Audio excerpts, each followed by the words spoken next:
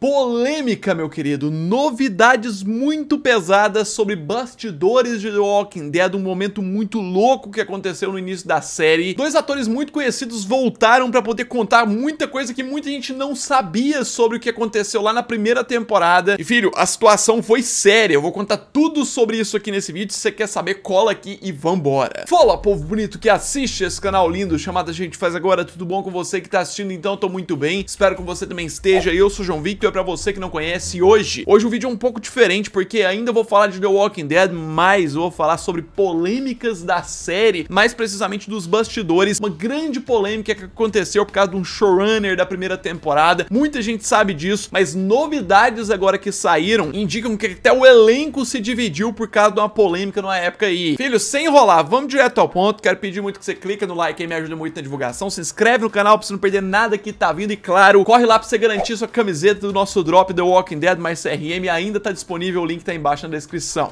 E seguinte, né? The Walking Dead volta aí dia 2 de outubro. A gente fala muito sobre previsões da história e tudo mais aí, que vai ser os últimos episódios e tal. Mas tem muitas coisas que são um pouco esquecidas. Algumas polêmicas que aconteceram, principalmente bem no início da série. E uma dessas principais polêmicas é sobre o Frank Darabont. Muita gente sabe, mas pra quem não sabe, rapidamente aqui, Frank Darabont é esse cara aqui. Ele é um dos criadores de The Walking Dead, sim, que envolveu na maior polêmica e no maior processo processo existente envolvendo a AMC. Ele que foi o showrunner da primeira temporada da série, ele que comandou tudo. Justamente para quem não sabe, ele só comandou a série na primeira temporada porque quando chegou para a segunda temporada ele foi demitido por conta de uma revolta dele mesmo com a própria AMC por conta de orçamento para a segunda temporada e algumas outras coisas que não queriam liberar para ele para facilitar. Como sempre em todo vídeo que eu falo sobre isso, eu não tô aqui para dar minha opinião o que, que eu acho se ele tava certo, se a AMC tava certa, mas de qualquer forma, a atualizando o que, que aconteceu, né? Depois disso tudo, o cara processou a AMC, um processo que correu um longo período de tempo e basicamente terminou em 2021, com a AMC sendo obrigada a pagar para ele aproximadamente 200 milhões de dólares, meu querido, exatamente, incluindo uma parcela pequenininha de alguns lucros futuros que The Walking Dead e Fear podem dar. Pois é, isso relembrado e atualizado, agora vamos a um novo ponto. Justamente porque tivemos esse reencontro aqui, Shane e Laurie, não, dois atores, né, de Shane e Laurie se reencontraram no podcast que o próprio John Bertal, que é o ator que fez o Shane, ele tem. Justamente tá aparecendo a abertura aqui pra vocês. O nome do podcast é Real Ones. Você pode procurar aí. Mas o que acontece é que teve um bloco de conversas ali, todo focado em The Walking Dead e nessa polêmica do Frank Darabont, que os dois revelaram muito coisas que a gente não imaginava. Tudo começou quando ela contou o momento que ela descobriu que o showrunner, o Frank Darabont, tinha sido demitido. Ela contou que tinha acabado de voltar da Comic Con, a primeira Comic Con de The Walking Dead. Primeira temporada, um sucesso aí. Quando justamente o Steven Yeun, o ator que fez o Glenn, ligou pra ela, pra atriz, comunicando ela que o Frank Darabont tava sendo demitido. E na hora, a reação dela, que ela conta aqui, foi duvidar, né? Ela falou, não, isso não tá certo. Ele acabou de entregar pra MC o maior sucesso que eles já tiveram. Foi a primeira temporada de The Walking Dead. Mas, no geral, no final das contas, ela conta que acabou descobrindo a verdade, né? Que tinha muitas coisas que ela não sabia ali por trás e tudo mais. Mas que mesmo assim, pra ela, essa demissão do cara soou como um assassinato. Ela fala nessas palavras ali no podcast. Ela não tem boas recordações do negócio, não. Na sequência, ela seguiu exaltando o Frank Darabont, dizendo que ninguém escreve como ele, um roteiro, uma história e tudo mais. Ela ainda ressaltou que durante todo esse tempo, depois disso, tem muitas pessoas muito boas que passaram por The Walking Dead, várias pessoas que ela respeita demais, mas ainda assim ela acha que ninguém é melhor que o Frank Darabont. Mas vamos continuar que começou a ficar mais interessante ainda em entrevista. Na sequência, ela seguiu contando pro John Bertal que basicamente os produtores, quando demitiram o Frank Darabont, disseram para ele que ele não estava preparado para ser o showrunner de The Walking Dead. Ela disse as seguintes palavras: Para alguém dizer que ele não estava pronto para ser um showrunner, pode ter havido razões legítimas para demiti-lo. Se houver, eu nunca ouvi falar, mas foi uma droga. Fiquei revoltada. Ela tenta equilibrar ali na conversa, né? Tipo, pelo nível e pelo negócio intenso que foi a demissão desse cara, ela acredita que deve ter tido alguma razão muito louca, então, para justificar o que a MC fez. Isso é uma coisa que muita gente teoriza até até hoje que é só por causa de orçamento e tudo mais, mas até hoje não dá para confirmar, então fica no ar mesmo. Existe sim muita coisa sigilosa sobre esse assunto escondida, guardada, que nunca foi revelada. Inclusive, você pode ver aí, muito tempo depois ela vai contar mais. Na sequência da entrevista, ela conta que de tão revoltada que ela ficou na época, né, sem saber muita coisa, ela foi confrontar o Robert Kirkman. Para quem não sabe, ele é só o criador principal de The Walking Dead. A história original dos quadrinhos é dele de muitos anos antes da série começar, e depois ele se juntou com Frank Darabont para transmitir isso para TV. Inclusive, para quem não sabe também, na época o Robert Kirkman tinha a ver com a série, né? Um tempo depois que ele desvinculou da AMC e passou a dar só consultorias. Mas a atriz da Laurie conta que falou o seguinte para ele: "Se você acha que não sabemos a diferença de um roteiro escrito por Frank Darabont e o de outra pessoa, você está completamente louco. Filho, olha a treta, olha a situação como que ficou no estúdio de Walking Dead. E, e ela vai contando, o negócio vai ficando pior. Ela conta ali que depois de ter falado tudo isso pro Robert, ela ficou com medo, né, de ser expulsa do programa. Ela achou que realmente ia ser demitida de lá também. E basicamente ela arrependeu de ter falado isso. Mas ela completa, né? Ela diz que nós criamos aquilo. Frank é quem trouxe a gente e vamos pra guerra por conta dele. E aí vem mais, vamos continuar. Ela acrescentou na entrevista que na época até esse cara aqui, o ator do Dale, né, o Jeffrey Dean Mann, ele foi à guerra também, foi bater boca com o pessoal da AMC e tudo mais pra cima, para que o Frank não fosse demitido. Lá na entrevista ela fala: "Você foi à guerra", se referindo ao John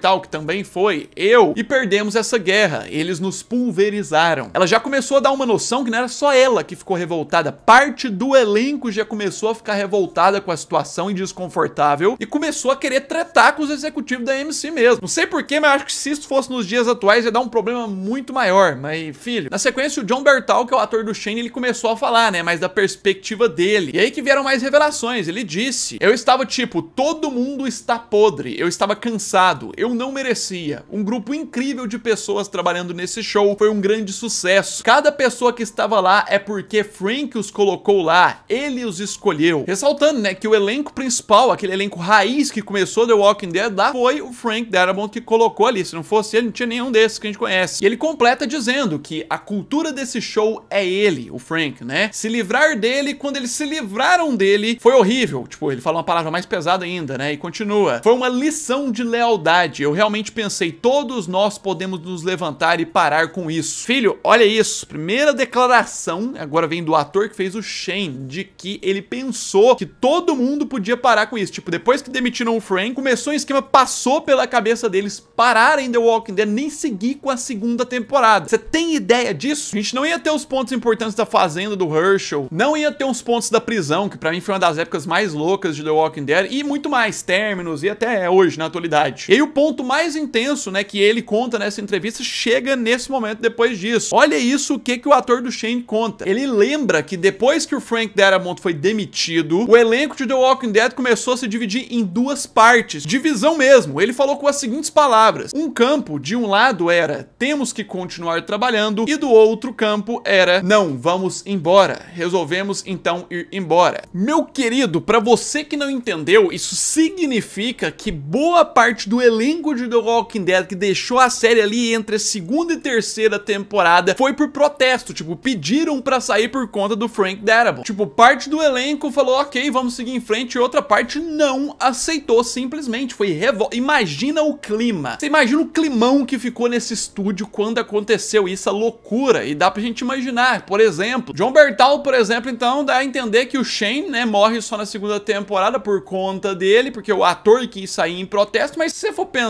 comparado com os quadrinhos, o Shane ia morrer na segunda temporada de qualquer jeito. O mesmo vale pra Laurie, que morreu na terceira temporada. A atriz, um tempo atrás, já declarou que ela que queria sair mesmo e tal, mas eu acho que no máximo, se ela não morresse na terceira, ela duraria ali até a quarta temporada, quando o governador ataca a prisão com um tanque e tudo mais, que é nesse momento que ela morre nos quadrinhos. Então, dos dois não ia mudar tanto assim, eu acho que algum outro ali também deve ter deixado, o ator do Dale, por exemplo, foi também por causa disso. O que significa que a outra parte do elenco, por exemplo, o Andrew Lincoln, o protagonista, né, que faz o Rick, o Norman Reedus também, que faz o Daryl, e a Melissa também, né, que faz a Carol, foram alguns dos que ficaram do lado aí, não, vamos continuar com isso aqui, bola pra frente, tudo mais. Se for pensar, ainda bem, né, que eles ficaram do lado, porque a gente não ia ter tantas outras coisas, inclusive a Carol, né? Na segunda temporada foi extremamente fundamental pro momento emotivo de perda da Sofia ali, e também daí pra frente é a personagem que mais evoluiu na série. Fora os outros, mas tá aí a polêmica, uma revelação muito louca, né, pontual mesmo. O estúdio, os atores ficaram divididos, parte ali desse decidiu sair mesmo por causa disso. Fica o ponto novo de curiosidade que vez ou outra eu trago, mas claro, né, fica ligado aqui no canal que já já a gente tem mais novidades sobre a parte pra frente aí da série mesmo, sobre o encerramento da série principal, vazamentos, os outros spin-offs. Se inscreve no canal pra você não perder nada que tá vindo, clica nesse like, me ajuda muito na divulgação. E no mais é isso aí, logo já já eu tô de volta. Um abraço, fui!